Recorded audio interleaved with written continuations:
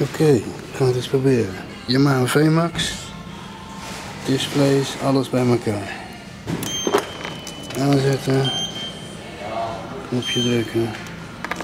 Daar is die. De VMAX heeft maar twee knopjes. Een select en een uh, reset knopje. Daar kunnen we heel veel mee doen. Uh, vooral als die stilstaat. We hebben sowieso het display hier natuurlijk wat we kunnen veranderen. Uh, is in mijlen en in kilometers in te stellen, maar het wordt nog veel mooier. Als we de twee knopjes ingedrukt houden, komen we vanzelf in het menu terecht en dan gaat het beginnen. We gaan eerst even kijken bij de brightness, dat spreekt voor zich. Je kan dat voor de meters, voor de naald en voor het display apart instellen.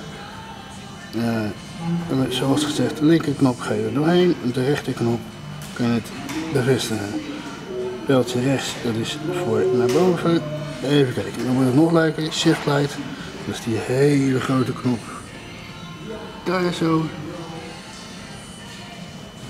Kunnen we ook instellen op meerdere manieren. We kunnen dit laten zien. Even kijken. Selecteren. Je kan hem laten aanzetten, laten flitsen of uit, uiteraard. Het wordt nog veel leuker als we naar de volgende gaan. Want deze kun je dus instellen bij welke toerental die aangaat en wanneer die uitgaat. Per versnelling apart. Of je kiest gewoon voor elke versnelling tegelijk. Maar als je hem getuned hebt of zo, want dat doe je met een Yamaha VMAX. Dan kan je ook zeggen van nou de eerste versnelling wil ik hem uh, ietsje eerder laten gaan. En de hoogste versnelling ietsje later en gaan ze maar door. Even we gaan dus daar doorheen en weer omhoog. Dan kunnen we de helderheid van de lamp nog instellen. Nou, die zet je natuurlijk altijd op standje zonnebrand. Anders zie je hem misschien niet.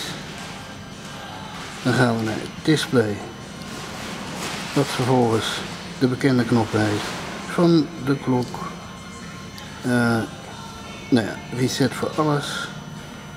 Nou, nee, ja, eigenlijk is dat het allemaal wel weer. En dan gaan we weer terug. En dan gaan we naar het, het, het, kernpunt van een VMAX, want daar staat hij bekend om. De stopwatch. Daarop, we kunnen kiezen tussen stopwatch en countdown. Uh, hier telt hij op en deze functie willen we hebben. Nou zitten we al diep in het menu, dus zo makkelijk krijg je hem niet. Je kan dit alleen maar vinden als je in neutraal staat. Zoeken we hem op. En dan kun je dus de motor, hij staat nou helemaal klaar. Je kunt dus in je versnelling zetten en dan begint hij af te tellen. Of we drukken nog een keer op deze knop. Telt hij af en dan moet je gas geven. Het leuke van het systeem is dat de Yamaha begrensd is op 220 km per uur. Behalve als je de countdown modus invoert. Dan is die voor uh, wel geteld een hele kwart mijl is die onbeperkt. Daarna, of als je het niet haalt natuurlijk, dan komt de begrenzer er vanzelf weer in. Dus dan zak je vanzelf weer terug naar 220 maximaal. Daaronder hebben we nog de system status. Dit is allemaal wat je uh, in zijn vrij moet en stilstaand moet uh, selecteren. Maar dan krijgen we dus een ander beeld. En drukken we op de knop, dan zien we ook weer andere uitingen. Kijk, dat is standaard. En daar is hij weer. Gaan we weer terug naar het menu.